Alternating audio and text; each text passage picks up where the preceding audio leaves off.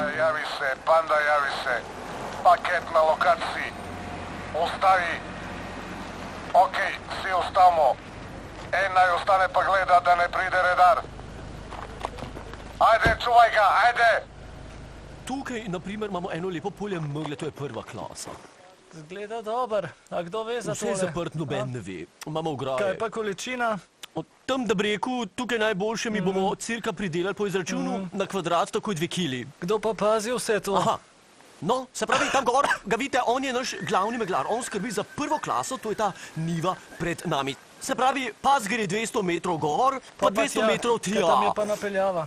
Tako, Ja, in od vidim, tam ja. pride do polja neoporečna voda, tega, ne? tako, ne? to je prva faza. ampak- Vodo spustimo na polje, potem pa spode pihamo. Tako, ta Mhm. zgornji del moramo orang spremeniti, ne? In kukar nam rata smo zračunali, da bomo tako dobre Mhm. megle dobili. In cilj je, da nekje do septembra spihamo skozi, se pravi približno Ja, ja. 10 ton prvovrstne bio, megle, eko. To je vse naravno, mi že naslednji mesec lahko začnemo prve Ja. pakete megle pošiljati. Sam tega bo zmanjkal. Ne, sam tega ne, tam gor zdaj se ne vidi, ampak v tisti smeri. voha Imamo ja? še, tako, tam imamo za Samo leto. da se spusti po zaloge. parcel, par litrov v en bogal. Ne? Bravo, sam to se naredi, že naslednji dan na polju lahko z nožem režeš. Sveža megla. Sveža megla, mi smo Ja. to metodo patentirali in lahko zdaj tožimo vsako nelegalno proizvodno megle. To že švicajo na barju.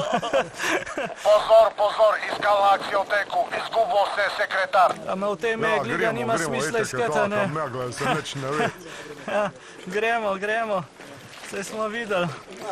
To že najdu domu. Saj smo v Sloveniji, ki je vse blizu.